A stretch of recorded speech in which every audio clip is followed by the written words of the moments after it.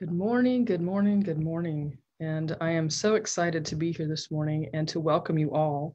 And I have the song that um, I picked for this particular event. And so I hope that, um, and now I don't own the rights to this song for um, just technical legal purposes, but this particular song is actually about um, Lazarus, a song kind of about being dead and then being brought back to life. And so as we enter Holy Week, I hope that you'll look this song up. It's it's sung by the group Cain, and it's called Rise Up.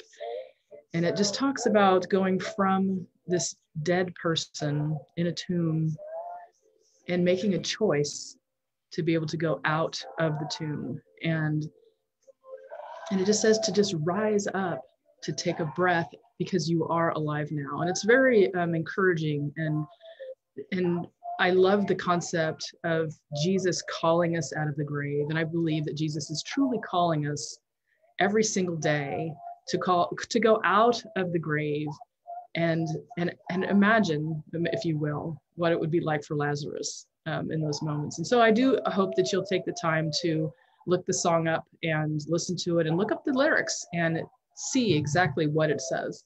And so um, let me see if I can turn that down just a tad. Um, and so I want to welcome you to the anticipating resurrection event. And I, I'm, I'm super excited. I mean, just even doing some research on Holy Week was very enlightening for me. And um, yesterday was actually Lazarus, I mean, sorry, day before yesterday was Lazarus Saturday. And then we had Palm Sunday. And so I want to say good morning to Diana, Joanna, Sarah, and all those, um, and those of you who are actually watching um, later. I don't want to disregard you either, but um, I just want to thank you for joining us. And so um, let me see if I, I'm going to have to do a little bit of um, um, tech uh, for just a second. And, um, and hopefully you'll give me a little bit of grace as I make sure that everything is up and running.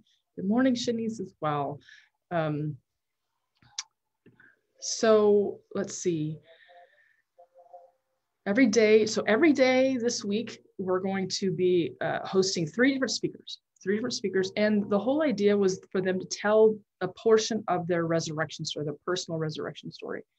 And so hopefully you'll be able to take the time to go and uh, research those, watch those, and then identify yourself you know where are you in your resurrection story. I you know the interesting thing about doing this i, I got very i actually went and got my box of kleenex okay?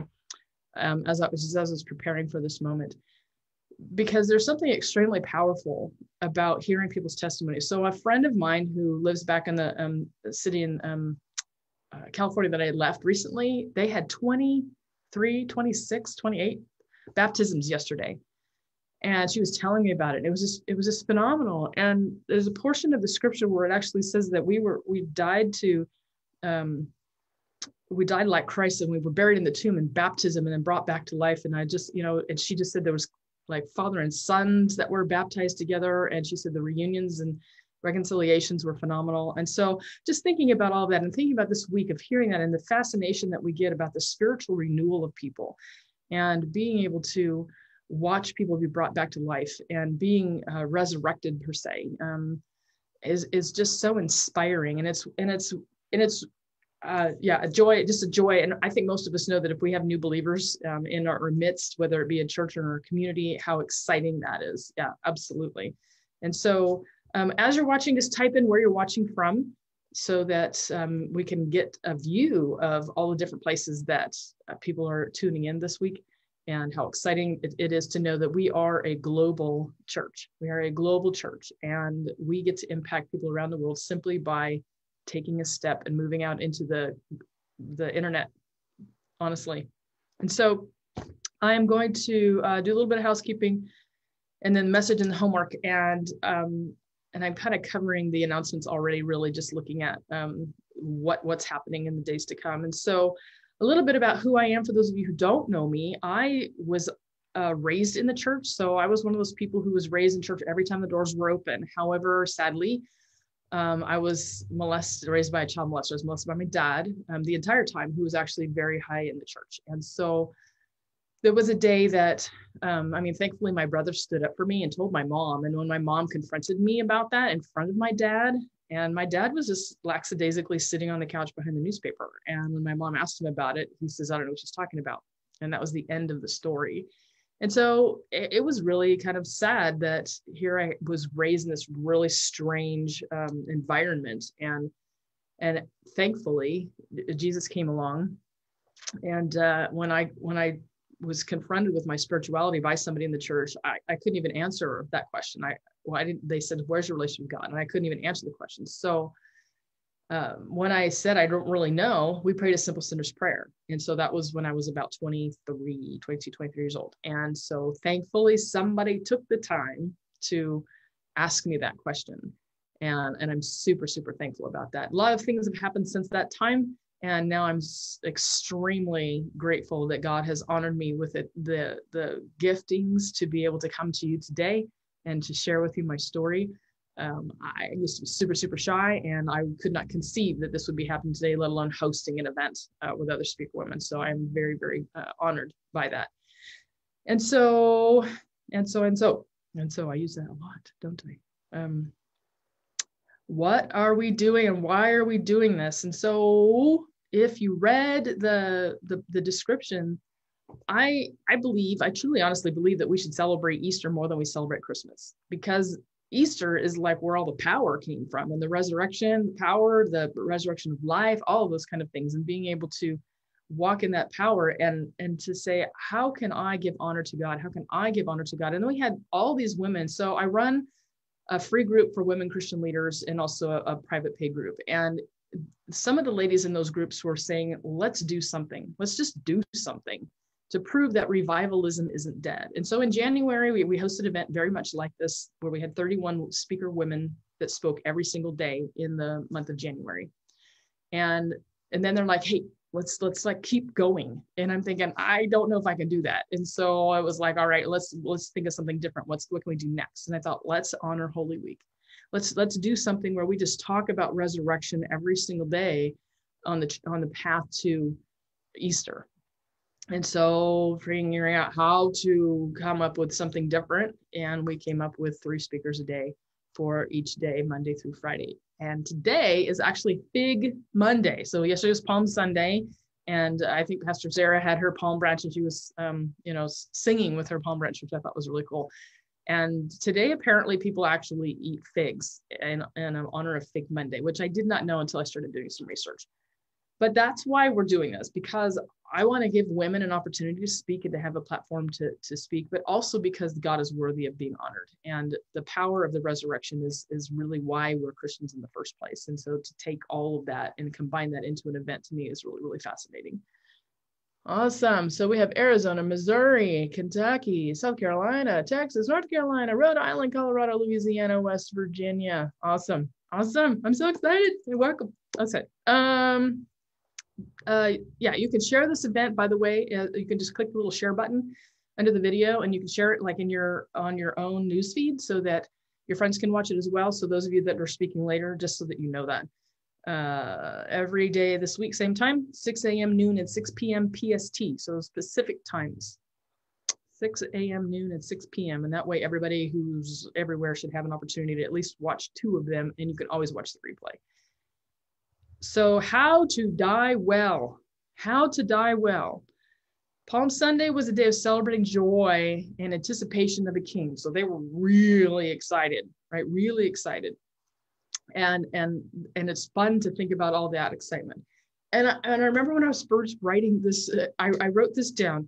What are some things that make me angry? So we have this, this joy and this happiness and things that make me angry. So there were three things that make me angry. One is bad drivers and I've had this I've had this issue with bad drivers. Like if you're a bad driver, like really gets to me. And I and I spent some time thinking about that. What makes what makes that what's make what makes me angry about that? And so I don't know what kind of things make you angry, but you can type that in as you're thinking about that.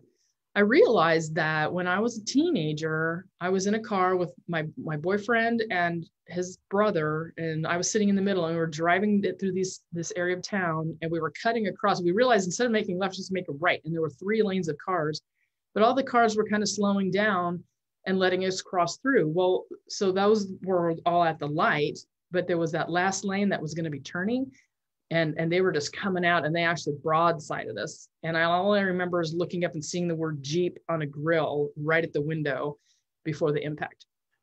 I really believe that that that's what caused that ongoing fear. And i have to work on that right? So bad drivers and then people who misuse scripture. I've only i've only yelled so i'm a licensed marriage and family therapist and an ordained pastor. And I've only yelled at a client twice in 20 years of doing professional therapy. And one of them was um, somebody who was misusing the scripture about wives being submissive to their, in, in my office to their, you know, the Bible says you're supposed I mean, I just like, no, you are not going to misuse scripture in my office. And so uh, really that, that's another thing that really kind of gets to me. And then also the enemy. I mean, the enemy, think about it uh, I just anytime the enemy is getting uh, the advantage, it makes me angry because I believe that the power of Christ is more powerful than the than the, the enemy, and to for us to learn how to utilize that and to and to uh, take power away from him. It just makes me mad when he shows up. It makes me mad when he takes advantage, and it makes me fight harder. And so, I think I was a bit tad angry while writing this message because that the, just thinking about how the enemy is keeping people from living the life that that God has called us to. And yeah, I just don't like it when the enemy seems to be winning. And I think about those who still need to come out of the grave like Lazarus. So when I listened to that song earlier, I think in my mind, and this is what makes me teary eyed, of the people in my life that are very close to me that are still in the grave. And Jesus is calling, Jesus is calling, and we're just like, come, come, come out, you know and and uh, and uh, and so um, you know anger covers pain and that's something that i've that i've preached for a long long time. But to really look at those people who were still in the grave and i remember telling somebody who was struggling in their faith i said you're you feel like you're in a cage. And the problem is is that you're standing with your back to the door and the door is wide open. And if you would just turn around and walk out the door you would understand what freedom is. And so as i listened to that song and i think about those people that are still in the grave and and just saying hey come out come out that you can breathe now. It's you know you have the breath of life available to you. Jesus is calling. And so my message will cover three things. What does it mean to die? How to die well? And then the incentives to dying well. And and I know I, t- I told I told my I told the rest of the speakers you got to do this between 20 and 30 minutes. And I'm thinking oh my goodness I could go on and on and on about this particular topic, right? so, so I'm gonna um, so I'm gonna try to keep some of this content um, short, and I want you to really be praying, God, help me take out of this message what you want me to hear, and how to apply it to my life. So, what does it mean to die? I, you know, what does it mean to die? So I just looked up the definition of death, and it says no longer alive, and so it's pretty basic. But the second one was the permanent ending, the permanent ending of vital processes. So somebody type that in, the permanent ending of vital processes. And I want you to focus on the word permanent. So there's vital, like there's there's vital processes, right? Things that, that are necessary. And when they end, it's permanent. So permanent, the permanent ending of vital processes. Yes, thank you guys for sharing with me some of the things that make you angry. Yeah, ugly words, bad drivers, judgmental people, lack of empathy. Yes, yes. All right, death, the permanent ending of vital processes. So I want you to think about what are you hoping to accomplish before you die? Thank you, Julia. What are you hoping to accomplish before you die? So some of the things like own a home. Some of some people like they just they really want to own a home what are some of the things that you're hoping to accomplish before you die? Some people want to have kids others want to have grandkids. Um, you know there's a lot of things that that we we really want to accomplish. Some people want to own a business or have a successful business or a ministry or even own a nice car. And i'm not saying that um, any of these things are bad. These are just like normal things that people desire before they die. Um, intriguing vacations intriguing vacations. Yes, owning a home, be a grandma. yes. Yeah, I like that, Angela. The permanent ending of viral processes. Wouldn't that be great if the viral processes of COVID would be permanently ended? That would be beautiful. Um, yeah, the permanent ending of vital processes. And so um, leaving a legacy. So the pressure, as we get older, the pressure gets it gets um, bigger because time gets shorter, and, and we're like we, we have these things we want to do, and and and and we look at death and because death is final, right? the finality of death is getting closer and these, there's these things that we want to accomplish and and i heard uh, most of you well i shouldn't say most of you some of you might have heard of christine caine and i saw a video of her i saw her live and then i went on youtube and looked her up. And i and, and her live was just phenomenal. She's a great speaker just great speaker. And she talked about the goal of the christian life is not to die safely not to die safely. And she gave this picture of, okay, I've got my house and I've got my white picket fence and my two and a half kids and my dog, and I got my ni- nice um, bed and I've got my blanket. So now I'm going to lie down. And now that I've got all this and the end has come, I'm going to, I'm just going to, I'm going to, I'm going to rest and I'm going to die safely. And she says, you know, if, if I'm going to die, I'm going to die doing great things for God. I'm going to die doing great things for God. I'm not going to die safely. So somebody type that in great things for God. I want to die doing great things for God. And I was just fascinated by that. She goes, So I'm going to do this and do that. And she goes, You know, who would have thought that I would be going against the mob in Europe um, in order to rescue uh, girls from the slave trade?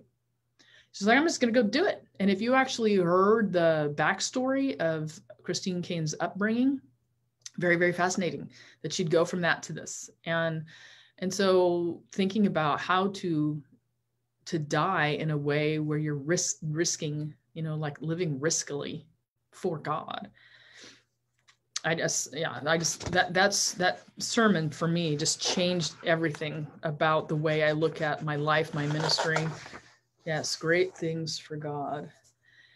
And so Jesus, Jesus died well. And I put that picture for this event of Jesus on the cross to think, you know, Jesus died well. And we think, well, what, what did he do when he died well? And and the thing that he did was he put an end to sin.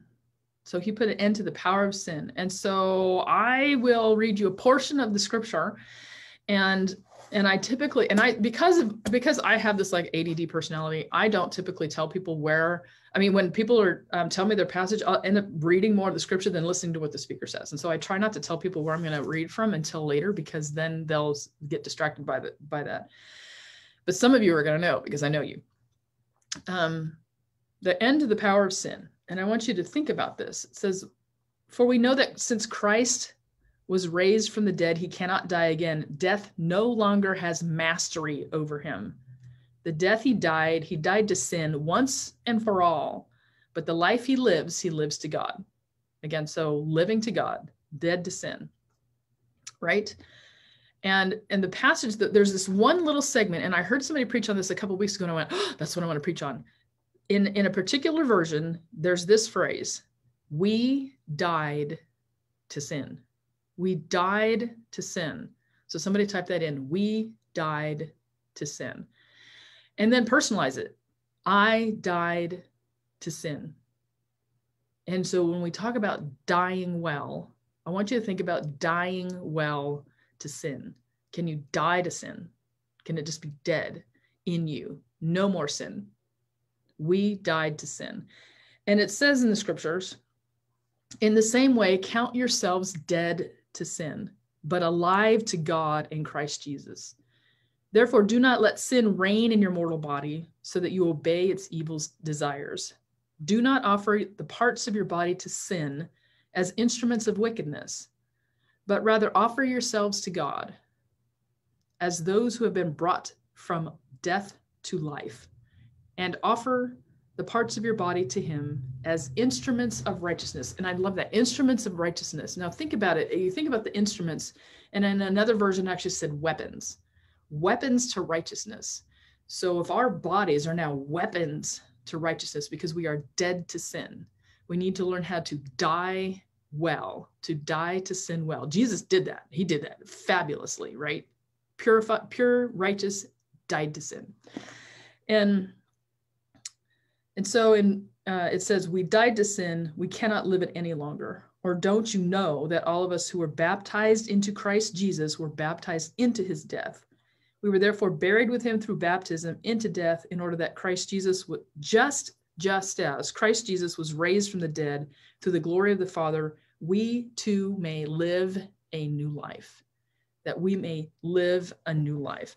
And then um, you need to you need you need to be determined. You need to be determined to be done and dead with sin. Just done, done. And and and in in, in, in uh, my my challenges and stuff, I was talking about this. So you got to be done. There's got to be you have to have a conscious decision. Decide I'm going to be done with this. I'm going to be done with this. Once you decide, it's the power of Christ that allows you to walk in that doneness it's not us it's not us just just bootstrapping our way through this and just like oh i gotta you know we say god i am done with this. You you give me the power to be done with this and to walk in new life. And i get grieved by hearing people who say well i sin every day just constantly and i just know and there's like all these other things that i i know i haven't even been aware it's like you live in this constancy of fear and dread and and i and i'm and i understand the philosophy behind that but it keeps us from being able to walk in the glory and the power of christ. Because we're looking at the fear of not being aware of this, these sins that we're doing instead of saying how can i be aware of the aliveness in christ in me? Because i have died to sin. I have made that choice. I've received christ as my savior. I'm here to honor god well with my life and be a weapon of righteousness a weapon of righteousness and so I want to read to you uh, Susanna Wesley's definition of sin. Now, Susanna lived in the 1600s into the 1700s. Okay, so this was a tad while back, right? But it's so applicable today. And I want you to read this, and and uh, you can look it up uh, online anywhere. It says, take this rule, take this rule when thinking about the definition of sin. Whatever weakens your reason whatever we- weakens your ability to reason, impairs the tenderness of your conscience, the tenderness of your conscience, obscures your sense of God, takes off your relish for spiritual things. So it's anything that just makes you, you know, um, you're, you're avoidant of, of spiritual things. Whatever increases the authority of body over the mind that thing is sin to you, however innocent it may be of itself. So again, it's not saying, well, other people are doing this, or it's not that bad of a thing, or, or the law says it's okay, or the church says it's okay, or my spouse says it's okay. It's not the innocence of the thing that itself, it's the impact that that thing is having on your spiritual life. So let me read this again. Whatever weakens your reason. So think about the things that make you, um, that your, your reasoning is impaired. Anything that makes your reasoning impaired. That impairs that. Oh, so, so the example that I will give you is um, I used to argue that alcohol was not going to send me to hell. And I still believe that today, but I used to argue that. It's like, ah, you know, because I wanted to have the justification of being able to, to do that. And then one time I was drinking, and this is like way back in my, you know, early 20s. Um, I was drinking and a bit tipsy, and somebody asked me about my faith. And I couldn't do it. I could, I wasn't clarity of mind. I could, and I, and that was, it was so stunningly clear to me that, that this was just impacting the king. It was impacting truth. It was, you know, so yeah, it was just, I, I couldn't, I clearly remember that. It impairs the tenderness of your conscience. So anything that makes your conscience um, hardened, you know, things that harden your conscience, obscures your sense of God. Think about all the things that we do and and and we can't experience god because there's just so much going on. So anything that obscures your sense of god in life or takes off your relish for spiritual things I, I you know there's so many so many things um that that make you uh avoid especially uh, political things you know eh, when you are the political pressure the social pressure not to talk about your faith not to talk you know and it, and it takes the relish off of it. Instead of being able to walk in the joy of the spirit we, we have a lot of um, um, fear over that. Increases the authority of the body over the mind, where you're you're gratifying the body in whatever fashion that is, over the mind. I, any any time that that um, I mean, you can look at scripture where that's all over the place, right? Anytime that you do that, it is sin to you. It is sin to you, no matter how innocent it might be. Okay? Be repulsed by sin, die to sin. And I hate to bring up this next comment, but um, um, because I know that often my family, um, and I was uh, adopted by the people who who abused and molested me, and so my biological family sometimes watches these recordings, and I know that it's hard for them and painful for them to hear some of the things that that um, uh, that I went through. But the phrase that that um, I wrote here is my parents set me up for failure. So the people who raised me, they set me up for failure. They brought me into the church and they showed me how to live an extremely hypocritical life. And and so i was really set up for failure that there was no way that that i was going to ever see church for the truth of what it was that there was genuine relationship with god. I mean it was extremely ritualistic. And we we prayed the lord's prayer after dinner every single night. And we prayed the catholic prayer to uh, begin our dinners and we did the daily bread every night as a family after after dinner. And and but it was all rituals so there was no relationship. And then people will often ask me you know how in the world a did you survive when they hear about all the details? But the second is how in the world did you become a christian?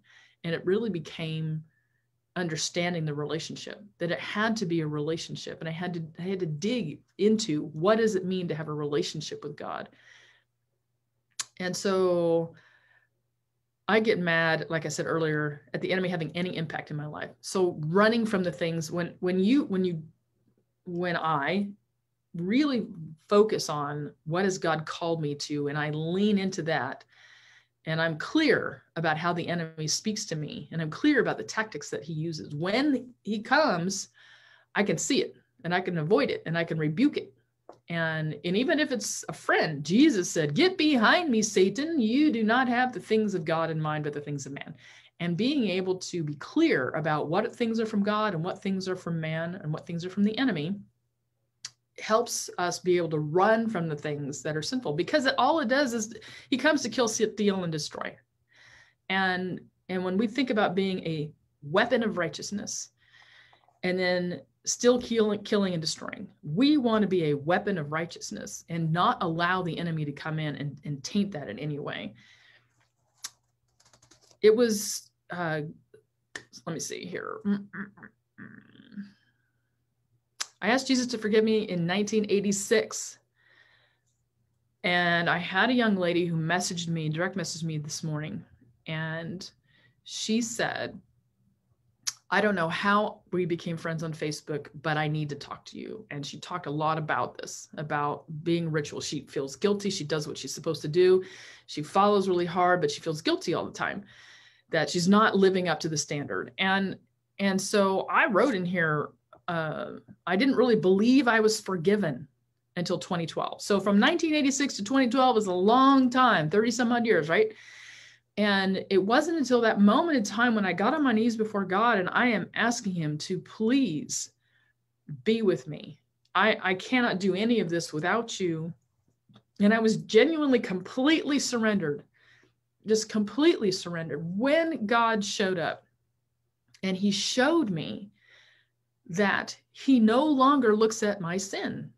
He no, he no longer looks at my sin because Jesus died for my sin. He made that super clear to me. Jesus held out his hand to me and he said, Let's go play.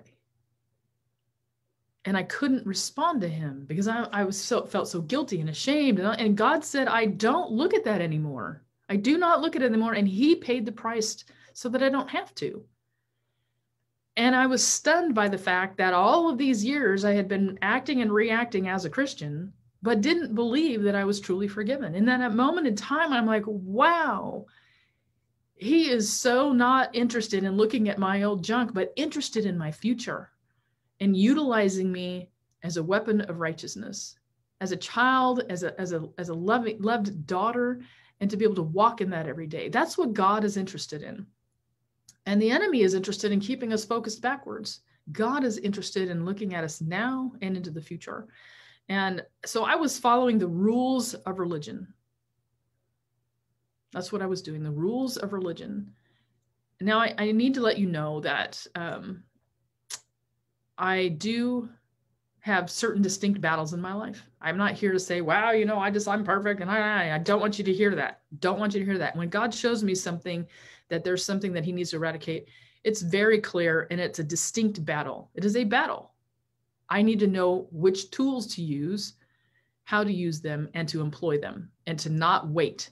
Don't wait. When when God shows you something, you just you just get down and you get to business because otherwise, the longer you wait, the harder it becomes yeah to eradicate the footholds of evil. So if the enemy has a foothold in your life you just need to eradicate it. And again when you think about it, i was set up for failure with all the stuff that i was exposed to. It's like you, the enemy just just keeps on trying we'll try let's try this door this door this door. He keeps poking. And then to be able to say i'm going to eradicate every foothold that the enemy has in my life.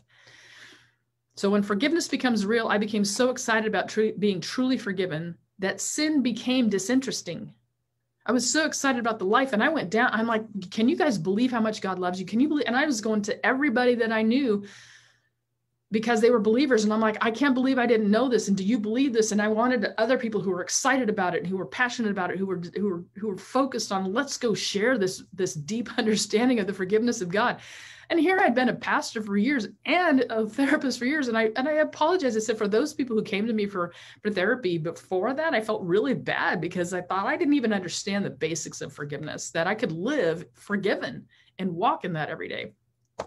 So the benefits, what did I write?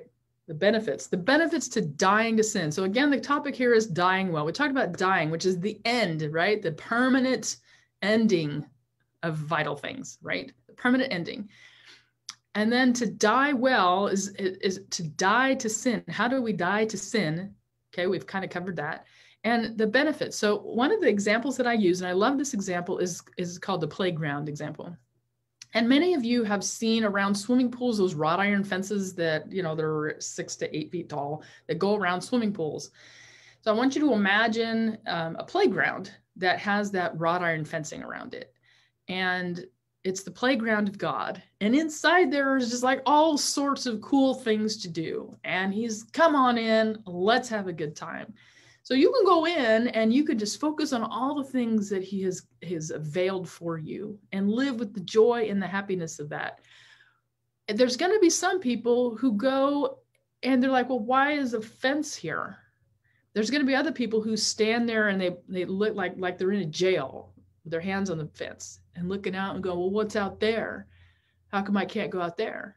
And then there's going to be other people who crawl up over the fence and run away to go experience the things that God is protecting us from. And we can decide to live within the bounds of what God has has provided for us and live this life full of joy. And it is a spiritual relationship. It's a spiritual joy. It is not—I my life is going to be easy and fun and and everything good is going to come my way. Every spiritual good thing will come your way. It has to be a spiritual relationship. The second thing I want you to think about is what would Lazarus be doing? Think about when they finally got those grave he's like, Lazarus, come forth. And so Lazarus comes out of the grave and they take all of his clothes off of him. What do you, what do you think Lazarus did? Did did sit around and go, well, you know, I kind of believe Jesus did this, and I kind of, you know, and so I'm kind of like, yeah, I'm Lazarus. I mean, I think he'd be just running through the streets telling everybody, oh my gosh, like I was dead, and look at me now, and this is just so exciting, and he would go around telling everybody.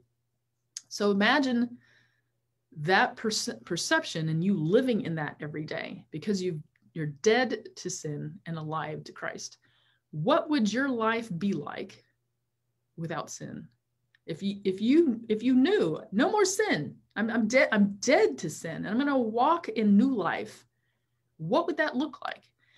And and have clarity of the vision. If, if we have clarity of the vision it gives us a goal to reach for every single day. Walk coming up saying yeah, i'm i'm dead to sin. I'm alive to christ and i'm going to go and walk and live like that every day.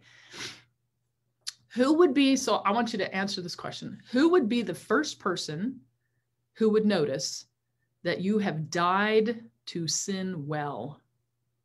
Who would be the first person to notice that you have died to sin well?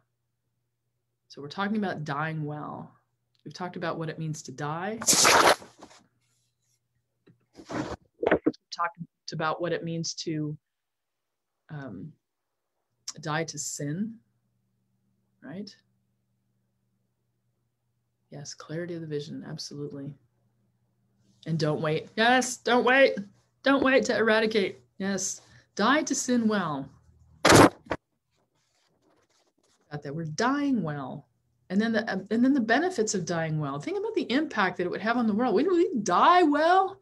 We're died to sin. We are an instrument, a weapon, a weapon. I love that terminology, a weapon of righteousness. Yes, my husband would notice first. Yes, those around us, those around us would just, wow, you, you've died well. We can die well today. We don't have to die well when we die physically. We die to sin today. And so I hope that uh, you have really spent some time thinking about dying well. What does it mean to die well? Yes, my husband, my family. Yeah, what Jesus would know first. Exactly. I love that, Angie. Yes yeah, Sigrid says my wife, my wife, sorry, my spouse and my daughter. Yes. Su esposo y su hija. Es verdad. Yes. Um, absolutely. Close friends.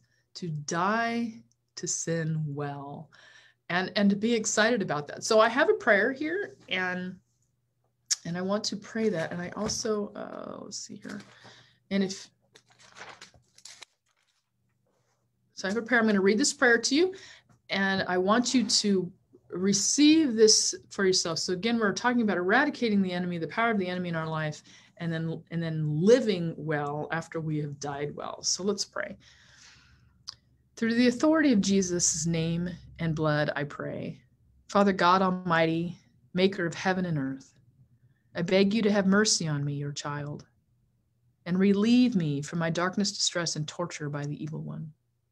I beg you to break all curses and bonds that have been spoken upon me by others or even myself. Reveal to me your truth and your power over evil. Give me visions of a healed and free self. Give me courage to stand strong and to claim your ownership of my life and rebuke and deny the enemy and the enemy's tactics and lies. Give me dreams of your plan for my life let me freely express hope and anticipation of the days ahead in pure relationship with you. Fill me with your spirit. Open my heart to receive love and be cleansed of fear. Give me a desire to read your word and join your people. Free my mind to think of the things that are reputable, lovely, kind, generous, joyful, peaceful, and full of faith. Amen. Amen. And I do have copies of that. If you uh, message me later and want a copy of that, I can um, um, send that to you. And so, one of the last benefits of dying to sin. I, oh, and so the other passage was Romans 6. So, all those other passages that I read were in Romans 6. This is um, a passage in Matthew. Uh, and this is when Jesus was um, talking to his disciples and he was asking them who do this who, who do people say that i am? And peter says you are the christ the son of the living god. And jesus replied blessed are you simon son of jonah for this was not revealed to you by man but by my father in heaven. And i tell you that you are peter. And on this rock i will build my church and the gates of hell shall not overcome it and and i love that. I love that. The gates of hell cannot overcome the church. When the church is dead to sin alive in christ and being used as as weapons of righteousness the gates of hell will not prevail against it. And so my homework for you as we finish this so again we talked about what it, what it, what is death the definition of death how to die well and then the benefits of dying well. I want you to finish the sentence. And so somebody type this in. Because I died well to sin, blank will blank. Because I died well to sin, blank will blank. And I want you to fin- I want you to finish that sentence. I want you to take some time and really allow God to speak to you. when I die well to sin, this is the result. And so the the ways that I, yes, because I died well to sin, blank will blank. Absolutely. Thank you, Julia. So this is what I wrote. Because I died well to sin, the enemy will once again experience defeat. And I just love that. I just love that. Every time, every time, it's like the enemy once again, once again. I mean, I was set up for failure and the enemy was this thrilled about everything that was happening to me. And every time I lean in and I die to sin well, the enemy experiences defeat. And the second thing is because I died well to sin, my children will see repentance. My children have seen all of this, you know, in my life and being able to turn and, and grow and turn away over and over and over again and be committed to the process that the next generations to come can see in my own life that I continue to die to sin. I continue to be used as a weapon of righteousness. And they will be able to see it. And it's he says in scripture over and over again, my word will not come back void. And we can watch that happen over and over again. And so when I died well to sin, my children get to see repentance, the turning away, and experience that. And so once again, um, I hope that uh, this has been a blessing for you. Please tune in every day this week and watch the replay. Share them often with those that um, just need encouragement, to need, need to be reminded of the basics. Often it's just, you know, what is Jesus doing? What is God doing? And, and being reminded of the power of resurrection as we go through this week. And so thank you so much. And I hope to uh, see you all again soon. Love you. Take care.